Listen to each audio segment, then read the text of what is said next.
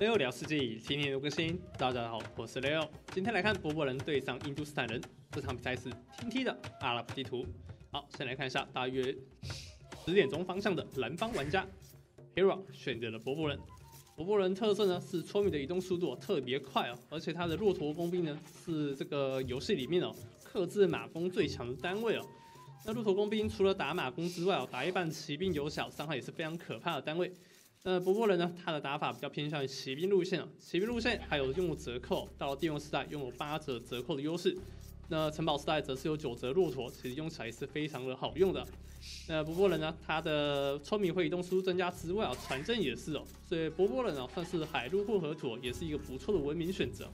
那他的僧侣科技呢，除了没有印刷技术，其他该有的都有，所以单纯要来对抗到对方的招降的话，还是很好用的，有这个异端邪说。那我们接下来看一下大约出生点位四点钟方向的红色玩家肥龙 B B 啊，那他选择文明是印度斯坦，印度斯坦的特色呢是村民的造价非常便宜，而且拥有帝王骆驼的升级，而且骆驼的攻击速度还特别快速哦。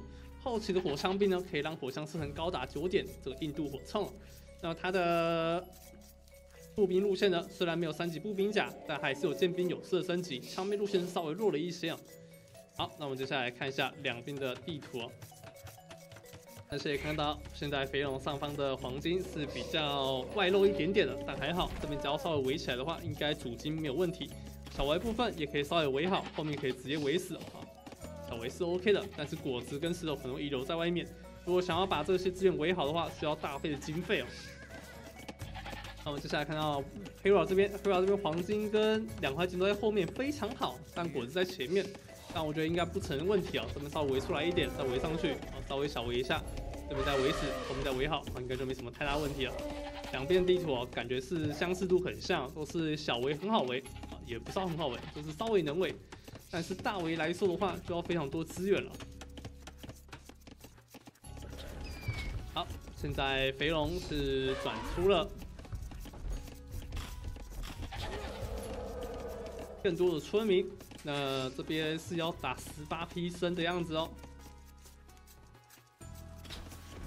OK，十八批升风，这也是比较正常的开局方法。好，两边都是十八批升封建时代。好，这里四只村民过来伐个木。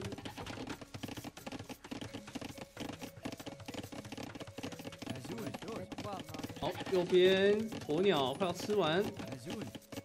现在 Hera 还没有开始围家，甚至军营还没有补下，因为补了双伐木场的关系。那双伐木场的工作效率有一是比较好的。哎，军营没有先补，大家赶快补军营哦，因为待会按马厩时间已经慢了。这就是下双伐木场的一个木头有点吃紧的问题。好，意识到封建时代马就没有马上拍，稍微慢了一点点。等到封建时代才点一下织布技术，偷了一个织布，哇，这个直接围起来绞杀，啊，这边关美兽关的非常漂亮。好，飞龙 B B 这边是也转出了马厩，点下了一级伐木。然后这边开始按这个落马，落马端一些，两边应该是落马配枪兵的开局。飞龙这边是选择了点下了一级农田。然后把自己的经济打到最好。好，那目前上方是开始围死，下方没有打算围的意思。哇，Hero 直接选择了一个正面大爆围啊，拉了非常多的村民开始围家啊。嗯，Hero 对于肥龙的打法并没有掉以轻心，而是给予了尊重，直接围起啊。为什么是说给予尊重呢？因为有观众说。这个不维加啊是有点小看对手。那如果连世界冠军都维加的话，那就代表 Vivi 哦确实有给到 Hero 一些压力啊，并没有小看对手啊，所以才选择了维加。那我觉得说法也算是成立啊，毕竟要维加的话，确实要耗费很多资源。但我是觉得维加通常跟战术有关系啊，不维死的状况啊通常是要去偷这个时代啊。把自己时代抽起来不交流，然后打保兵或三 T C 开龙的一个路线。对，这边可以预测到黑王应该是要打骆驼工兵哦，给肥龙这边最大的压力。因为打骑兵对决的话，自己的骆驼是没有攻速加成的优势的，只有折扣上的优势而已。但城堡时代的折扣也并不是那么的多啊，只有这个九折。所以肥龙这边呢，只能转出骆驼去压制伯伯这边。那如果肥龙转骆驼压制的话，伯伯人这边是最好是转骆驼工兵保兵单位去反制会更好。所以 Kara 在封建时代这边开局的时候就已经预测到城堡时代自己该该转什么兵了啊。毕竟以骆驼对撞情况下，自己优势是比较少的。好，这里补下了一个采矿地，四只说明开始踩石头，果然是要打保兵。那前期封建时代可能就是这样子了，应该不会有太多打斗了。就是为死，就是我要跟你农，没有要跟你打架的意思啊。好，在这边只要农出城堡，对于黑豹来说，后面的经济效益会很好，甚至要进攻也没问题。但是比较值得注意看的是哦，打保兵到底要怎么打经济配置才会比较好？好，枪兵出来稍微捅一下，但是捅不赢。完蛋，肉马直接被打掉，只剩下一只。好，飞龙开始给牧场沉顿输出，也补上了跟踪技术。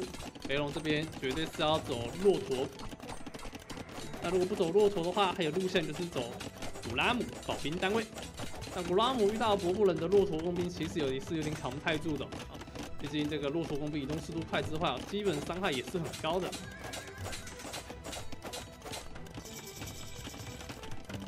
呃，走骆驼路线的话，会比较容易给对方更大的压力哦。只要贴着打，骆驼工兵也是能稍微反击回去的。好，这边一生时代是选择了三 TC 开龙，居然居然是先走了三 TC，后补城堡的一个流程，这样经济就不会输给对手。好，Hero 这里补下了长化教堂，啊不是长化教堂修道院。稍微照想一下这边的骆驼，可以盖城堡，城堡盖这个位置呢，还是要补上面这个位置呢？直接往后补了一下，城堡补了偏里面的位置。好，这里拉了三只村民过来，但是肥龙这里决定要前压，我补了一个工程器制造所，要按冲车吗？是要补头车吗？哦，先选择了投石车。那这样 Hera 的僧侣就会有点压力了，因为这样可以让肉马跟骆驼去攻击建筑物，猴子在后面去打僧侣，一个策略破墙。好，后面开始在转出骆驼工兵的三 TC 开农，现在农田数来到了二十七片田左右，骆驼工兵开始慢慢形成。看一下这里啊，骆驼工兵现在是七加一，初始伤害值是七点了，非常痛。等下级射总共是有九点的，一般来说弩兵只有七点伤害，所以说骆驼工兵基础伤害是真的高啊。好，可以看到这边的这个投掷车随便射一下就已经残血了。嗯，青头的远防哦是只有六点而已啊。那骆驼工兵呢是有九点哦，这位的射下有三滴血啊，其实很多。不不，这个有躲哦，没有躲的话可能就死村了。好，黑佬这边点下了轮轴技术，好，村民要稍微拉打一下，不然这个村民可能会直接死去。好，三只僧侣把骆驼弓兵血量拉满。好，点下了品种，我觉得是打马弓最重要的科技哦。没有品种的话，马弓很难成型。一旦难成型之后，骆驼就骆驼工兵呢就很难给到对方压力了。反观，只要 Hera 只要能成功让自己的骆驼工兵形成的话，呃，一这边回龙的压力就会非常巨大了。回头来射一发。好，这里龙炮远方比较高，有七点，比投石车还要能扛箭矢。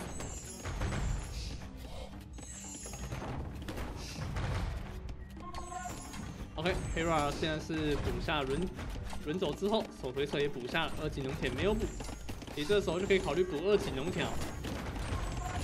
看这时候第二轮的开始大量的撒农田地方都要开始第二轮，哎，结果这里骆驼工兵怎么直接上了，还缩掉在头车跟僧侣？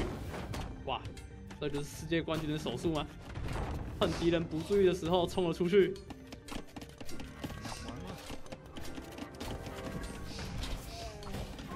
炮开始串招，骆驼工兵贴上，再点一下，再点一下，哎，收掉，哎，没有收掉，没有带刀血，打的有点歪。好，后面赶快补个大血，突然意识到没有单刀血还是有点糟糕。好，三只孙女在后面继续帮骆驼工兵补血，骆驼工兵残了就补个血，没残就出去打架。哇，这个打法可能连蒙古都可以适用哦。所以如果喜欢玩蒙古玩家们，可以参考一下 Hero 这一把的流程哦，还有这个打法是怎么打。OK，僧侣在家里给压力，然后骆驼出去打猎，收拾这些头车。头车过来砸一发也不会砸死，哇！这工程器给到压力非常少，有给压力但不多。现在弹道学补上了，骆驼工兵真的好麻烦。好，过来先点弩炮而不是头车，先点头车的话，两发就可以激活掉一台。好，弩炮，头车我拿下。好，现在转出了工程战象哦。这个工程战象远防非常高，可以看作是这个冲车哦。但是这个冲车打东西也是会痛的啊。基础伤害有四点啊。好，现在飞龙开始有点被压制回去了。骆驼工兵慢慢成型。对吧？这边点下了拇指环，这样子骆驼工兵的成型就大功告成，利用时代也可以补下了。飞龙这边前期一直给压力，但是却好像越打越亏的感觉。还好，飞龙这边有开出第四个城镇中心，这样子村民数就不会落后于对手，但升帝王时代会更慢一点点。好，这一波拉村民过来盖堡，但好像要盖出事情了。这个只能只能盖这个位置了吧？但这个位置盖下去的话，也只有高地优势，不能控到任何资源点。但不盖不行了，这一坨骆驼工兵开始在 poke 疯狂换掉骆驼了。哎，结果 Kara 这边操作失误，有点过度深入，但还好。再往回拉一下，继续把骆驼工兵射掉就行。好，是骆驼骑兵，是骆驼工兵。两台土车过来，直接被点掉。对吧这边骆驼工兵秀的非常漂亮啊。好，再换掉。骆驼工兵越来越多，数量没有减少，哇，已经截杀了二十九次的单位了。好，骆驼工兵有点残血了，拉回家继续用僧侣去补血。好，飞龙这边也是点下帝王时代，两边村民数一百六村，对方一百一十七村 e r a 这边的数量还是有所领先的。好这边稍微关起来，哇！骆驼直接被关起来打，完了，全部送光。这就是世界冠军的手术，瞬间关北兽之术。好，铁宝这边也点一下大肉马三级色跟化学。飞龙这边开始转出了步兵铠甲，想想还是转个古拉姆。但古拉姆的远防哦，其实只有三点哦，要点下精锐之后才会比较多。哦。个才说城堡时代就算走古拉姆也是很容易被骆驼工兵给射穿的问题啊！啊，我觉得现在转古拉姆可能也不是太好的办法。原 Hera 已经转出了大肉马，大罗马一登场之后，古拉姆的效果可能也会被大打折扣。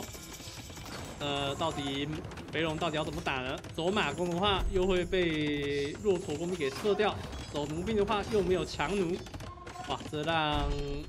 肥龙来说是一大头疼的事情那我是觉得现在不用再去想转手兵了。现在菲尔这边的兵力哦都是骑乘单位哦，你这样帝王骆驼正面碾过去哦，可能会是最好的选项哦。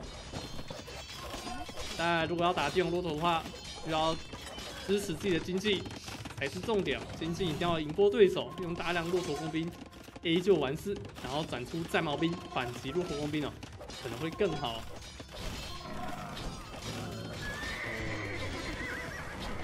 好现在经济有点差，现在骆驼工兵已经打破了这个缺口。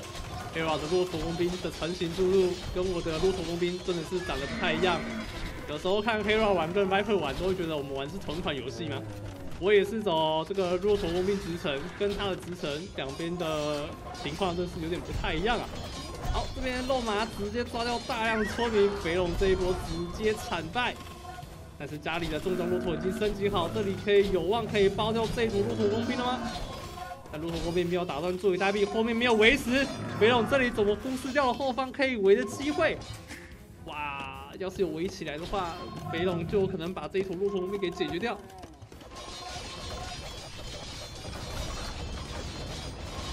好，骆驼已经来到三级马海，防卫来到四点，但是骆驼兵已经点下了精锐。哎，是精锐，这个是金冠技术。然后点下精锐升级的话，伤可以高达十二点了，跟蒙古图技是一样的。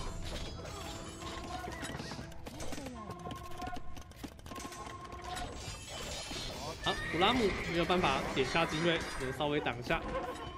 那现在这个古拉姆出的就很没有意义了，赶快继续产出更多的骆驼就行了。觉得这边的胜利方程式就是骆驼配战矛，可能是最好的选项了。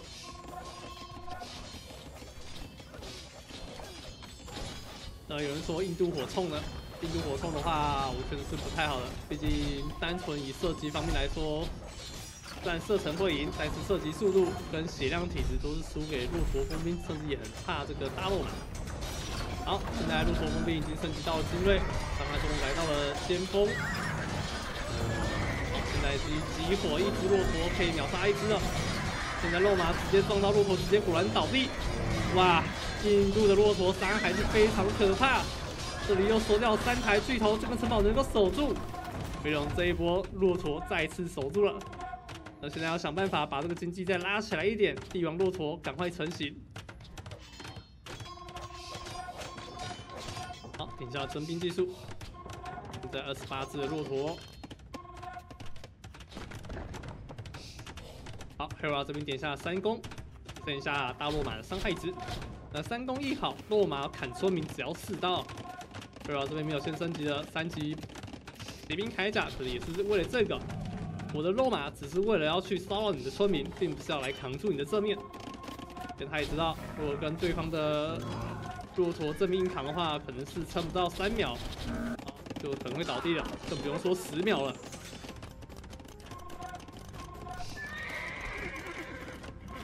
好现在骆驼工兵来到了三十一只，那肥龙这边也可以转一些装甲弹下去吸一些骆驼弓兵的伤害，但是肥龙已经受不了，打出了 GG。我们恭喜 Hera 拿下比赛胜利。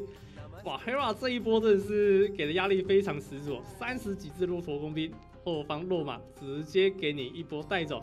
你的骆驼工兵，你的骆驼不往后面去抓大落马的话，这面后面就会爆炸，但是你的正面就会骆驼不够问题，把你正面会守不住。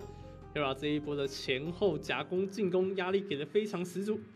来看一下经济啊，经济的部分最后是由 Hera 拿下资源上的胜利，木头跟食物都拿到了。黄金部分输了大概一千左右，石头的话大概输了大概两千三左右的资源啊。好啦，那我们今天影片就差不多到这喽。那如果喜欢这部影片，请记得刷订阅，我们就下次再见喽，各位拜拜。